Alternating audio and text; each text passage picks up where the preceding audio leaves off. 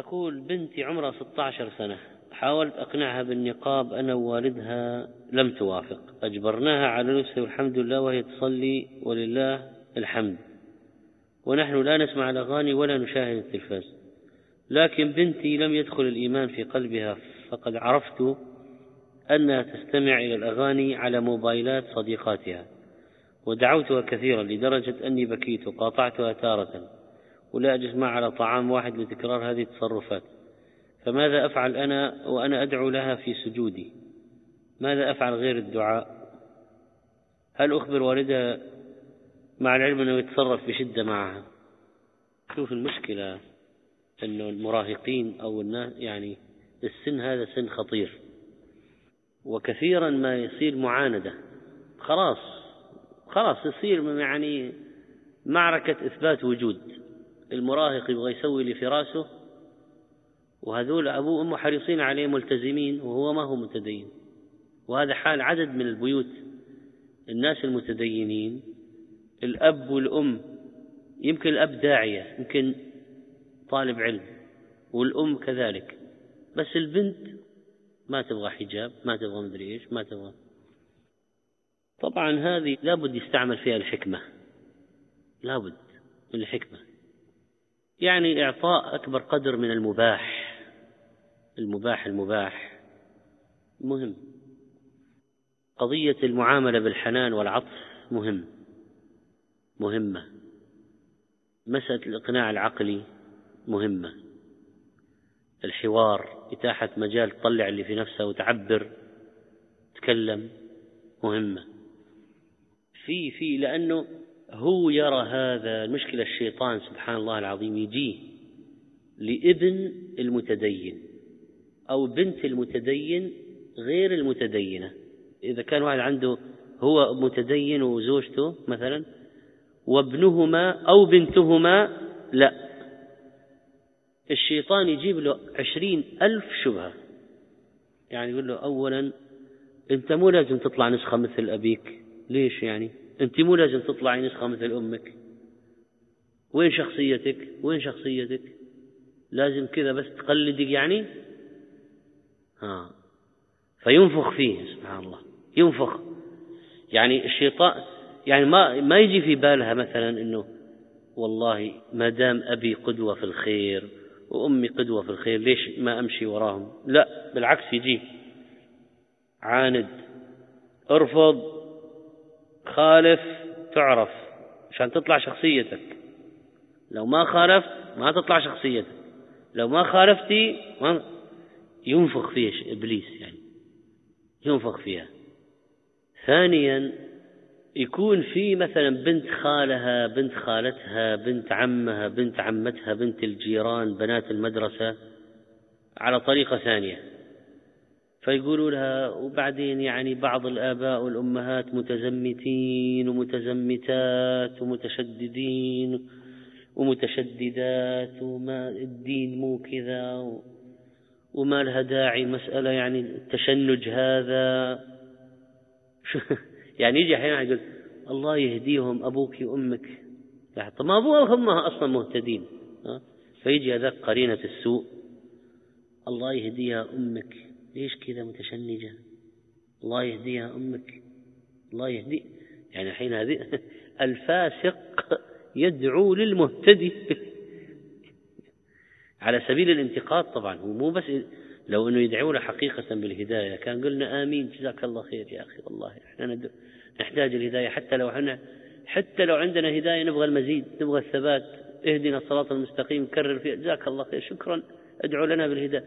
لا هو قصده الله يهديك إنكار. الله يهديك. الله يهديها أمك متشددة.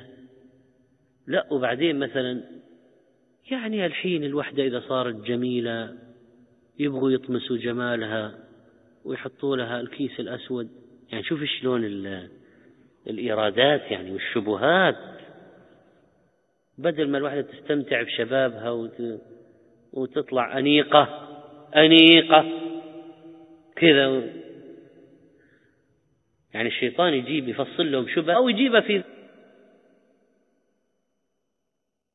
أذانهم كذا. بعدين مو الله جميل يحب الجمال؟ بعدين ها هذا شبهة هذا إضافة لما تقدم. بعدين مو الله جميل يحب الجمال؟ يعني إيش فيها لو طلعتي الآن لابسة عباية على الكتف وشكلك كذا يعني أنيق؟ لازم تحطي كذا فوق الراس ويطلع مثل خيمة؟ و و و و سبحان الله. فيبدأ يشتغل النفخ وتشتغل الشبهات وتشتغل يعني المعاندات. وتبدأ هذه القضية. لا ترضخي لا ترضي لا تسمعي كلامه. لا كذا. الواحد وين شخصيته؟ لا لازم يكون عندك كرامة. لازم يكون عندك آه أي هذه لا لا الحرية الشبهة ثانية. أو عاشرة. ليش يقيدوا حريتك؟ خلاص أنت كبيرة أنت مسؤولة عن نفسك أنت تعرف مصلحة نفسك. ما دام القلب نظيف إيش المشكلة إذا صار آه، العباية مطرزة؟ وكلام كلام. فلذلك يعني هذه الشبهات كلها لازم تتفصفص كما يقولون. لازم. لازم تجي يعني الأم تقول لها البنت شوف سيقولون لأن الله عز وجل في الأسلوب هذا في القرآن سيقول السفهاء من الناس ما ولاهم عن قبلتهم التي كانوا عليها. هات كمان سيقولون. لا متاع من شبهات. إن الله إيه يقولون ولا سيقولون ولا سيقول. شبهات. في القرآن. الله قص علينا في القرآن. لا إيه، يعني مثل سيقول السفهاء من الناس ما ولاهم عن قبلتهم التي كانوا عليها. يعني الله يحكي لنا ماذا قالوا من الشبهة ثم يرد عليها. وش أمثلة؟ مما حكاه الله لنا من الشبهات على لسانهم.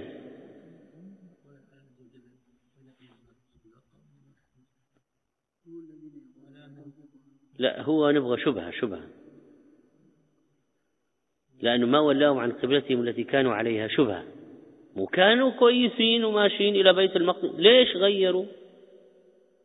وقالوا إنما البيع مثل الربا. شبهة. جاء تفنيدها. وأحل الله البيع وحرم الربا. المهم إنه إنهم يقولون كذا كذا والرد عليه مهم. ما يصير تبقى الأشياء معشعشة في عقل البنت أو الابن هذا وما يرد عليها. ويقال لها تعالي اجلسي وكذا وكلام وبغاية الحنان وبغاية الرقة وبغاية الرفق سيقولون لك يعني إن الله جميل يحب الجمال فإيش فيها إذا أنت طلعت بهيئة جميلة؟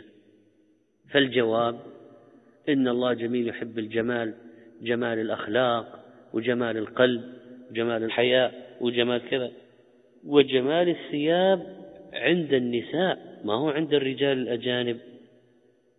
جمال الثياب الرجال أمام الرجال. جمال ثياب النساء أمام النساء إذا ما خالفت شرع الله. يعني ما تلبسي ثوب مكرمش ما هو مكوي. ما تلبسي ثوب وسخ. بقع. رائحة كريهة. كذا. مثلا. فإذا إيوه ترد على الشبهات. لازم.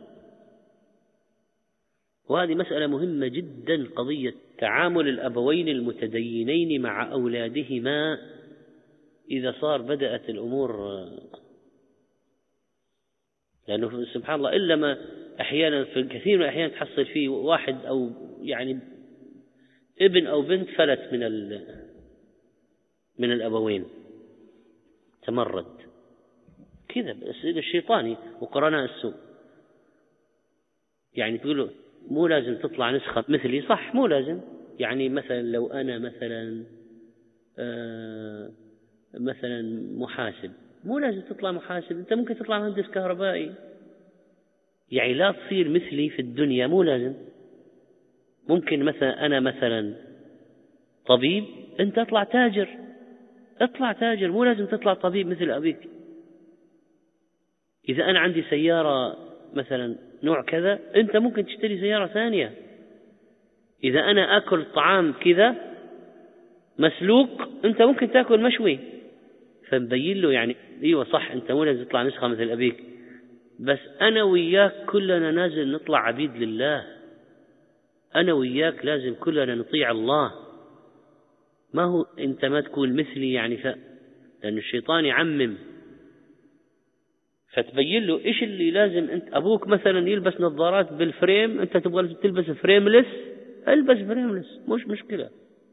فاذا نبين له أنت ممكن تخالف أبيك في إيش ولكن ما يجوز لك أن تخالف الله.